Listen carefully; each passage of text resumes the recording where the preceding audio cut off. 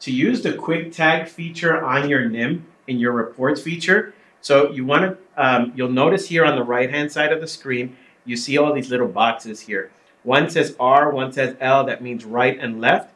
And these quick tags, depending on what procedure, so here we're in thyroid, we have LV1, which is left vagus pre-dissection, and LR1, which is left recurrent laryngeal pre-dissection. And then we have the twos, which mean post-dissection.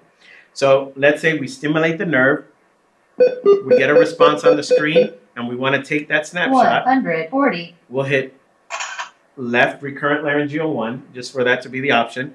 And now we can go into reports. We can select quick tags.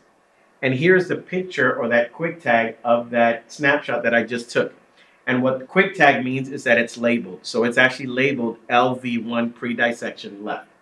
Now you could connect a USB port or you could have a printer or something connected to it and you could save these images either onto that USB or you could download these onto a printer.